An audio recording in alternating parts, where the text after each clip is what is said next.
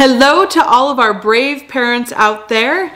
This video today is going to be about resets, specifically about resetting a child's brain when they're having behaviors.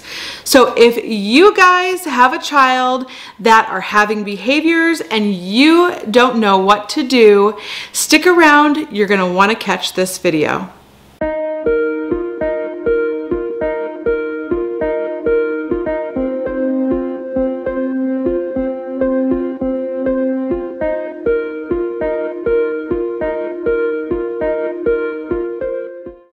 Brave Parents, today we are talking about resets and I want to give you guys three stories uh, that I was myself actually involved in with kids that used resets and it was absolutely amazing how it worked.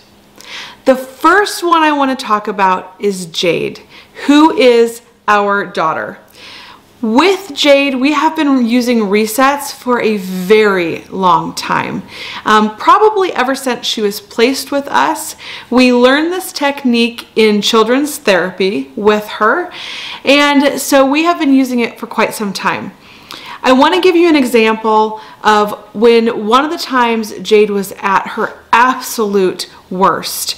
And it was before she was diagnosed with anything, and we were just coming into her seventh birthday.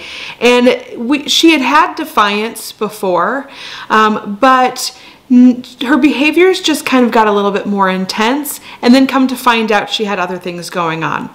So Jade was eventually diagnosed with a sensory processing disorder, ADHD, ODD, and using these resets um, have really helped with the defiance piece and also resetting her brain. Um, I don't know if you're familiar, but when you have a child that has sensory processing disorder, um, with our kids at least, and with what they're going through with it, uh, they really love a lot of input. And so when their brains get kind of out of control, they will use sensory input to calm their brains down. So Jade would do things like uh, she would run herself into walls, or she would roll herself down the stairs, or she would do uh, just anything that she could get a lot of extra input. Um, sometimes she would she would punch her legs, and so we found that using resets really helped reset her brain, um, and then she she would not always have to do those things uh, to calm her brain down. We also learned a lot about um, sensory processing processing disorder and things that we could use in the home for her to uh, use um, instead of having to do those things. So like the weighted vest and her pod swing and things like that. If you guys haven't caught our sensory processing video, I will link that down below. That is on our Connley Clan um, YouTube page. Uh, and so I will link that down below so you guys can watch that video if you're interested in that. But using a reset also helped to reset her brain. So what we would do is when she would be in the middle of having her temper tantrum, we would call her name. And it might take a couple times, but we would say, Jade, hey, Jade. And once we had her attention, then we would say, hmm, do you that maybe you could name um, like five things that are blue in this room? And she would think about it for a second and she would say, well, yeah, I can do that.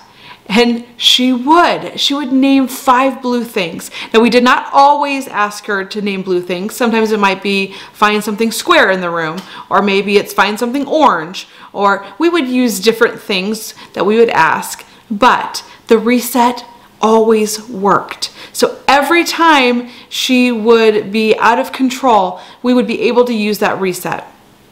Now, that doesn't mean that uh, once she calmed down that she she wanted to do what she was asked. A lot of times we would have trouble getting her to shower at night and so uh, maybe we would ask her to shower then after that and sometimes she would go back out of control. But that reset really helped to take her from focusing on her temper tantrum um, and what she was upset about to resetting her brain and then she would be fine after that reset. So she would name the five blue things and then all of a sudden she had come out of her temper tantrum. And then we were able to start over again. And then a lot of times what we would do is we would offer her um, something else so that way she would not have a fit. So we might say, maybe you want to pick a special toy to shower with, or we would give her other alternatives to make it a little more fun since we knew she didn't like that. But that reset really helped her to refocus her brain and then allowed us to start over again. Another time that I had experience with resets was when we had a 16 year old, well, he was 15 when he was placed with us, and then he turned 16 um, in our house. And he was um, diagnosed with FAS, and that is fetal alcohol syndrome. And so we would a lot of times he would he would get very out of control too at times um, where he'd get very upset. Sometimes he didn't like taking his medicine and so that could have effects on him.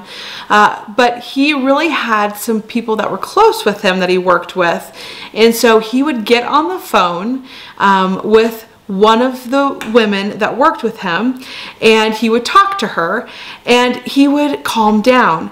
And so one time I got on the phone and I said, How in the world are you getting him to calm down? I'd love to know your secret so I can use it in the home. And she told me that she was using resets. So she would talk to him about something that she knew he was interested in. And it would take his brain from thinking about what he was upset about to thinking about what she's talking about that he was interested in. And it worked every time for him. Now, you know, not taking meds is a whole nother story. Um, and so, you know, we would have trouble sometimes if he wasn't taking his meds where maybe the resets would not work. But they would, it, it was like a miracle that the resets would work even with someone his age. Um, you know, I thought for sure that when I used it on Jade, she's very smart. I thought she would know exactly what I was doing. And she didn't. I, I could use that over and over again, and she never caught on to that. And neither did the you know teenage boy that we were working with. Um, he you know would start talking about whatever it was he was interested in, and it would refocus his brain. And then we were able to start back over again and have another shot at you know asking um, what it was that we wanted, the request that we wanted. And so it's really helpful in getting everything to start over so you can try again. The last story I want to tell you, I I was at daycare and I was picking up. And this is actually how I became friends um, with one of the foster moms that I'm really close with. And she had two placements, they were brothers, and they were going to the same daycare that our kids went to and they were a fairly new placement and they were having lots of behaviors. And at the time I walked in, she was, I don't think that she was there quite yet. Um, and one of the boys was throwing things. And uh, she happened to walk in um, as this was going on and, you know, was trying to get the boys to calm down. The daycare professionals at our daycare are um, really good with foster children, and um, you know they were they were phenomenal with ours. They were really good at working with behaviors, and they would really really take um, a lot of extra time for the kids that needed it.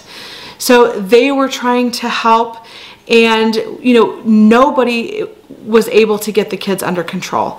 They were just so upset that they just couldn't focus on anything else. And one of the boys in particular was, um, was just lashing out and having a really hard time. And in this instance, you know, all of us trying to get them to calm down. And I remembered the resets. And so I sat down next to one of the boys and I tried talking to him. And it took a little while. It probably took me about five minutes to figure out what I could use for him. I didn't ask about shapes or blue or I felt like maybe he was a little bit too out of control. Now it did work for Jade, but you know, I was not familiar with the boys and I was a stranger to them. But what I did was I started talking to him and I started asking him questions and he wasn't calming down and he wasn't calming down. And I looked over at his shoe that he had been throwing and it had a superhero on it. And it, it occurred to me in that moment that he loved superheroes. And so I started talking to him about the superheroes. And it only took about 15 seconds and he started engaging. He started engaging in that conversation about the superheroes and he started telling me who he liked most and he started telling me why he liked him. And we were able to use that moment as a reset for him because once his brain stopped focusing on being upset and his brain transitioned to focusing on having a conversation with me about something that he really enjoyed, his, his temper tantrum stopped. And he was able to calm down and his brain focused on telling me about that superhero that he really liked instead of using his energy to throw a temper tantrum.